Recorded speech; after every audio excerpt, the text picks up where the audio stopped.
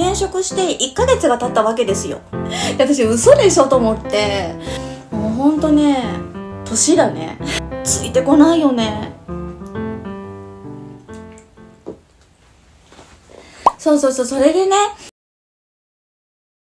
あのー、私がねいかに今まで勤めていた会社がまあ、会社がっていうことではないね。私が、ただ、単に私がアナログだったのかなと思うんですけど、始業時間と、まあ、就業時間にね、朝礼と終礼があります。今までは、デスクの前に立って、で、上長も立って、おはようございます、みたいな。今日はみたいな感じでやってたんだけど、違うの。全部ビデオチャットなのよ。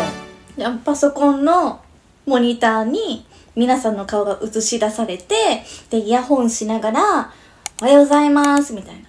ミュートって話を聞いて、ありがとうございます、みたいな感じなの。今まで私そういうのなかったから、ドギマギして、なんか、あ、はい、わかりましたとかって済ました顔してるけど、私はすっごいドキドキしてたのね。もうしないし、そんなことをと思って。で、プライベートでも私、ズームとか使わない生活をしてきたから、これは毎日これが行われているのか、みたいな。で、まあなんでかっていうと、本社と支社で同じ課のグループの方がいるわけよ。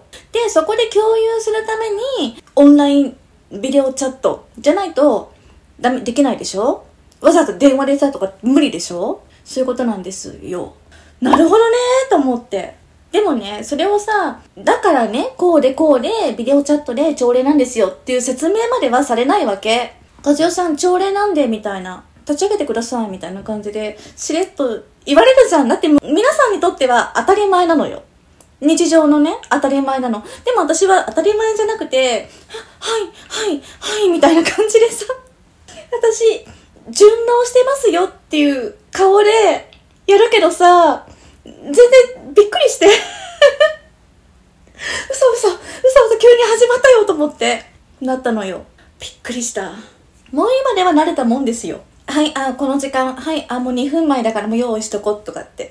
イヤホンつけると逆に、早っとかって言われるぐらい、ちゃんと追いついていかなきゃっていう気持ちは、あの、出来上がっているんですけどね。最初の1週間はもう必死。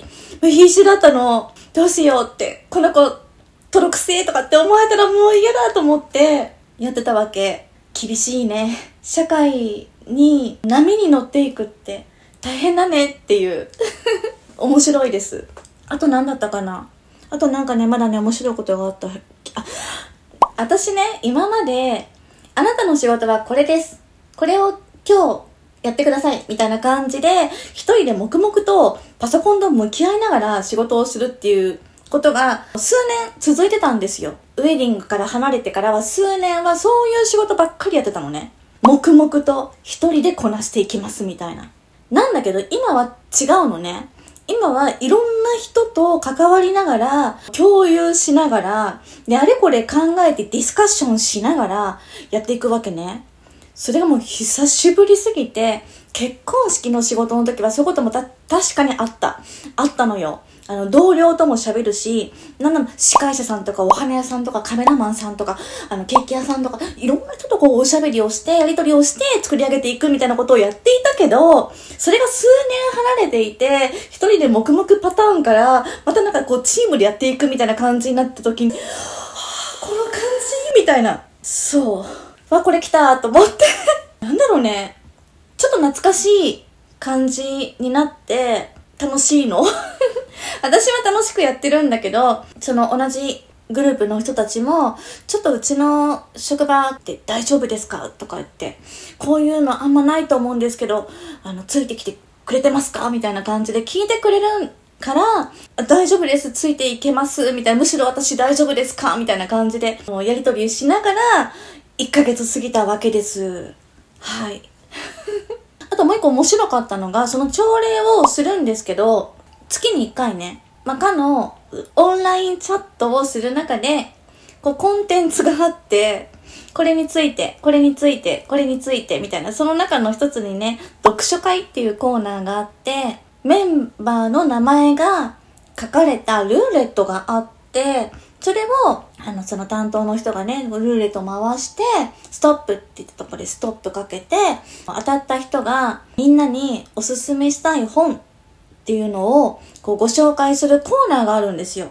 でもね、その本っていうのがただの小説とか漫画とかそういうものではなくて仕事につながるためになるような本をご紹介されるのね。それ私ね、4月の頭、しょっぱなで遭遇したわけよ。え、当然、まだね、そのルーレットに私の名前はなかったから当たらないんだけど、めちゃくちゃドキドキして、え、私、近年そんな本読んでないし、みたいな。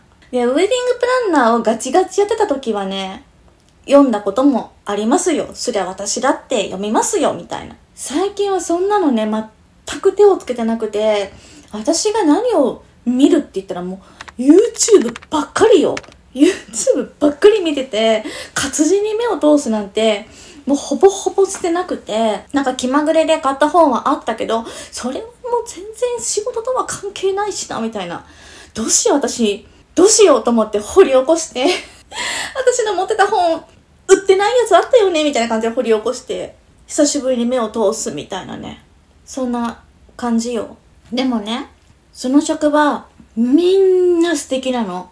キラキラしてるのね。なんでだろう。すごい、業務がいっぱいあるのね。あ、あともう一個言いたかった。みんなが素敵な話は私するんだけど、ビジネス用語ってあるじゃないですか。横文字の。それをね、意味は知ってる。単語も意味も知ってるけど、それを多用する職場には、今まであんまりいなかったのね。例えば、タスクとか、フィードバックとか、うーん、エビデンス、なんていうのかな。まあ、いろいろあるでしょ、そういう用語を知ってるし、意味もわかるし、ただ使わなかったわけ。今までの職場では。でもそれをね、多用するんです、今の職場は。それにすらも私はドキドキしちゃって、わーみたいな。すごいみたいな感じで見てて いや、その時ね、それを言われた私はね、はい、わかりましたみたいな感じでしれっとしてるんだけど、いや、分かってはいるよ。分かってはいるけど、そのワードを自分が口にするのはなんだかすごく恥ずかしいのみたいな気持ちになってて。わかる？この感じ。みんなそんなことない？ワードとして言葉としてはパッて発言できても、なんか、それを使ってる自分、今まで使ってこなかったから、ちょっとなんか気取ってる風じゃん。いや、その職場の皆さんが気取ってるとかってことではないのよ。そこでももう当たり前だから当たり前の公用語だからね。公用語。私にとっては、ちょっと外国語風な気持ちだったから、ちょっとその雰囲気にも慣れるのにもやっぱ一週間はかかったし、はい、みたいな。だからかな、だから余計にその皆さんのことがキラキラに見えるのかな、私。ね。なんかキラキラしてるように見えるんですよ。職場の皆さんのことが。なんで私はここに来ちゃったのみたいな風に思えて、なんかね、もともとは、まあ私がその転職するにあたって依頼してるエージェントさんがいるんですけど、その人はこれまでの職場と同様に、今の会社なんだけど、その私が黙々とできる部署に、私を入れようとしたわけなのよ。後から聞いた話ね。そうしたら、その先方の今の職場ね、その私を面談してくれた方ね、が、方かな？そ、それぐらいの、なんか上の方がね、私のキャリアシートをご覧になって、この和代さんの経歴だったら、そこじゃなくて、こっちの方がいいかもっていうことで、私今の職場でお世話になることになったんですって。面白いよね。ほんと、何がどこでそうなのかわからないじゃないですか。で、ひょっとしたら、そのエージェントさんの思いというか、あの、そちらの方面で私は一人で黙々とパソコンと向き合って、みたいなお仕事をしていたかもしれないのね。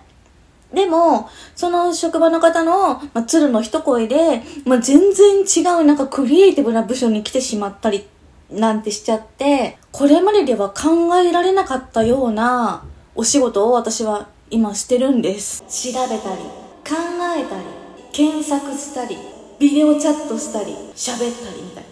はぁみたいな。こんなことあるの？みたいな感じです。本当に。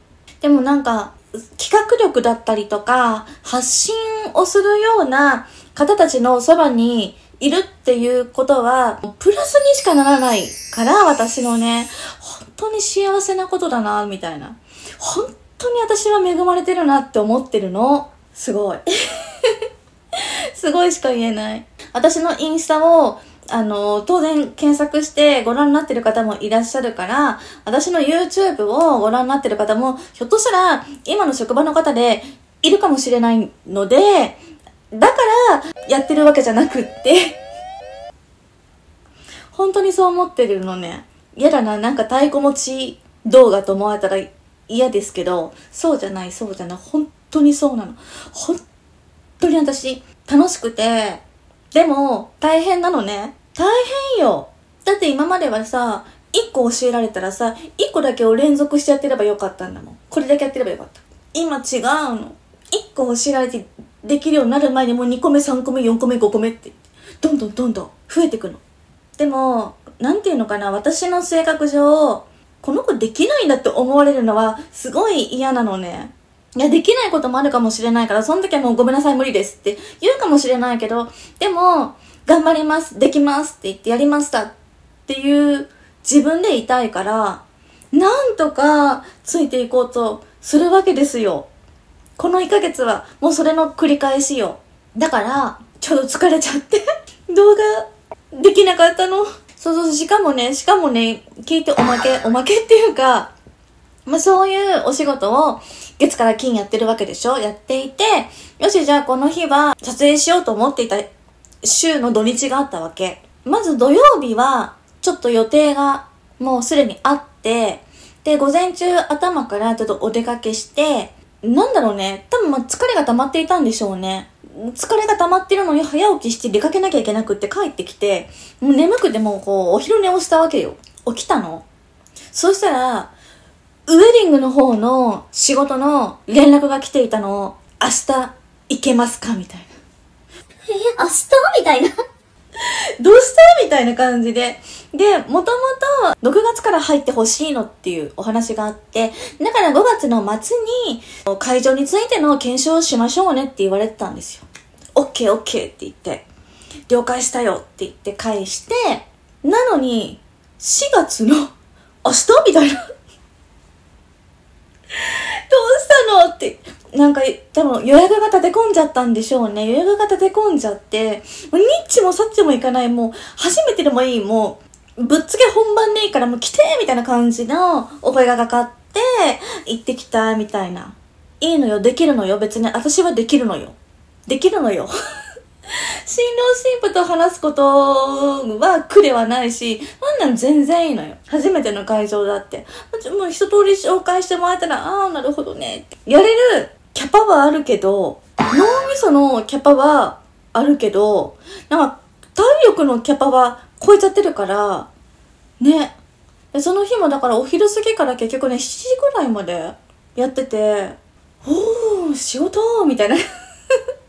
仕事モードから抜け出せないみたいな感じになったわけです。はい。なんだけど、なんだけど、やっと、あの、ゴールデンウィークに突入した、今日は、あの、実は初日でございます。お休みちょっと連休をいただいておりますので、そこでね、なんとか動画のストックを取りためて、編集もして、アップをしていけたらなっていう思いでいる所存です。あー私は頑張っているんです。私なりにね。しかもでも楽しく幸せな気持ちを抱えて頑張っておりますので、申し訳ないですけども、動画アップについてはね、あの、ご容赦いただければと思います。っていう感じの私の、まあ、近況報告も含めた新しい職場の面白体験記録でございました。え、転職についてためになったよ、面白かったよっていう方はぜひ高評価とチャンネル登録よろしくお願いいたします。また次の動画でお会いしましょう。バイバーイ。